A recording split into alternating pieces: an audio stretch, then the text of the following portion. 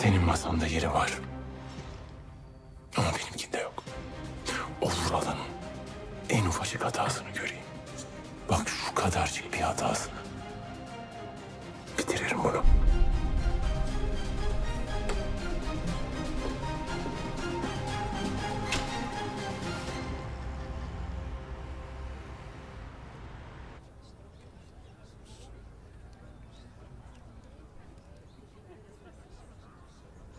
Hoş geldin. Merhaba.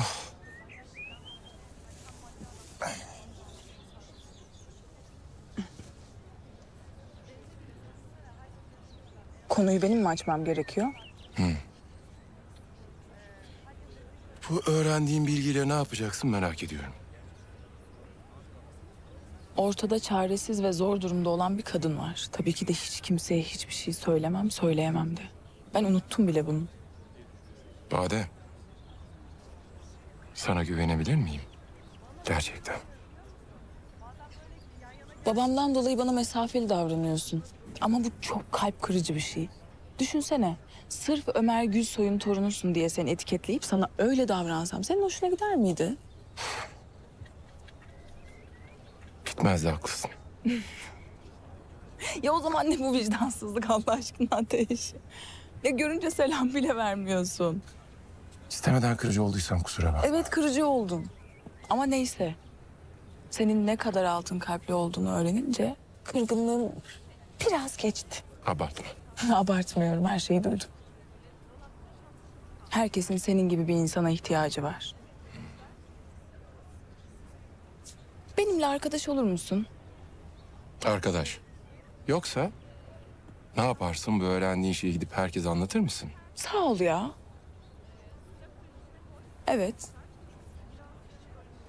Eğer benimle evlenmezsen herkese her şeyi anlatırım ve sana şantaj yaparım. Öyle mi? Beni alacaksın.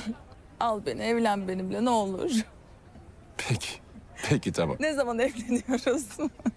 ya ne zaman hadi söyle. Peki. Güzel eğlendim ben de. Peki. Ama sen de bunu hak ediyorsun. Tamam çok yakışıklısın, havalısın, akıllısın da. Ama bu dünyada sadece sen yoksun, tek değilsin ki. Başka erkekler de var. Öyle. Öyle. Bade. Eğlendik bitti. Şimdi bu aramızdaki senle benim aramda kalacak. Kimseye söylemeyeceksin. Tamam. Bu konuyu kapatalım ve üzerine bir daha hiç konuşmayalım olur mu? Peki. Ben Feraye'ye ikimizi gördüğünü söylemedim. İyi yapmışsın. Yazık kıza. Canım ya. Aşk acısı ezdi geçti kızı. Hem de nasıl. Bu arada ben Feraye'nin babasını çok seviyorum. Ee, ona çok büyük bir gönül borcum var. Durum... Durum biraz böyle bir durum. Tahmin ettim. Tamam artık kapatalım konuyu ya lütfen. Olur mu? Peki. Son olarak... Benim sana bir şey sormam lazım. Tabii. Tamamen kapalı olan kış bahçesinde ne işin vardı? Ya benim sütyen askım kopmuştu. Onu düzeltiyordum. Tam orada içeri girdiniz. Yani uygunsuzdum. O yüzden saklandım. Sormak zorundaydım anladım. Bir kahve iç. Söyleyelim. Peki.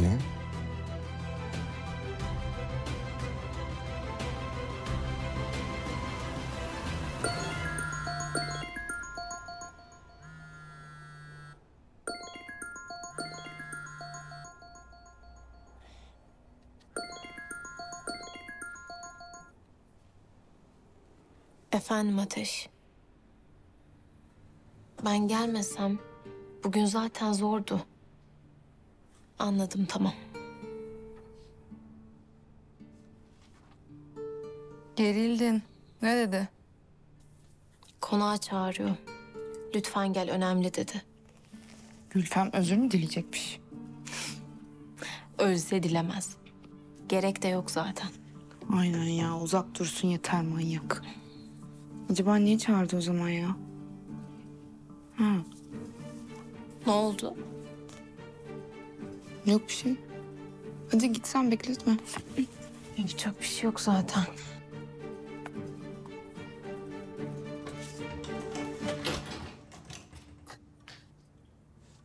İyi ki bir yerlere gidelim dedik. Hemen eve geldiniz. Bilmiyorum yatacağım ben. Hayır istemiyorum. Hayır. Hasta olduğumu biliyorsun. Hala eziyet çektiriyorsun bana ya. Anne. Ne oluyor neyin var? İyi değilim işte. Başım da ağrıyor. Siz beni kahrımdan öldüreceksiniz. Yazıklar olsun ikinize. Alttan alayım. idare edeyim dedikçe üstüme üstüme geliyorsunuz. Çünkü tek suçumuz evlenmek. Evet. Doğru düzgün insanlarla evlenseydiniz ben de böyle olmazdım herhalde değil mi? Rezil ettiniz beni rezil. Şunun haline bak. Benim yakışıklı, gözlerin içi gülen oğlum ortalıkta ceset gibi geziyor. Anne yapma. Yalan mı? Anlamıyor muyum ben? Mutsuzsun oğlum, mutsuz mutsuzluktan ölüyorsun. Anne tamam tamam. Bana bak. Bana bak. Anne. Bana bak. Gözlerimin içine bak. Bak. Acı çekiyorsun işte.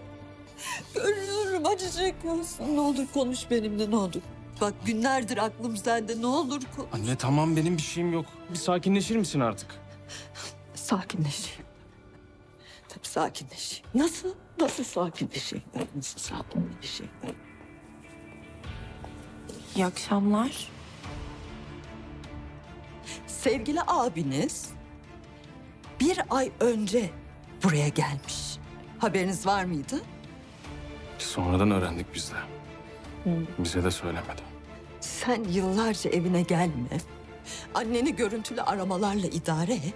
Sonra bir hizmetçinin kızının peşine takıl, koşa koşa eve gel. Sen beni çekip vursaydın oğlum, daha az acı çekerdim ben ha? Anlaşıldı biz seninle bir orta yol bulamayacağız. Feraye'yi arayayım ki gelmesin o buraya. Hayır, hayır. Hayır gel, gelsin. Gelsin. Gelsin. Bir şey yapmayacağım ben ona. Zaten sana sindirimden hırsımı ondan çıkardım. Bir de dedenizle uğraşamam ben. Yok. Neden geliyor? Gelinliği bozulmuş prenses hazretlerinin. Tabii bugün biraz ben de incittim onu. Abiniz de kıyamamış. Araya hatırı sayılır bir arkadaşını sokmuş. Özel uçakla modacı getirmiş buraya. Atölyeye gitmiş modacı da gelinliği yapmış gitmiş. Şimdi de terzi provasını yapacak. Aynen öyle. Neyse ben gidiyorum. Hayır, hayır. E, tamam ben sakinim. Sakinim tamam sakinleştim ben. Gitme, gitme ne olur gitme. Bak, kaderim neyse çekeceğim ben. Tamam sen sakinleş, sakinleş kaderini de çek işte. Kaderim tamam. neyse Kolay gelsin çekeceğim. Leyla. Gitme Hadi görüşürüz. ateş gitme. Sen çek kaderini. Aleyna. Terzi bahçede miymiş neymiş git çağır gelsin. Peki. Annem bir dakika annem annem. Annem nereye? Balkondan atlayacağım gelecek misin? Annem sen yapma bari. Ya tamam tamam Okan gelme üstüme ya gelme. Kaderimi çekmeye gidiyorum ben. Kaderimi çekmeye gidiyorum ben.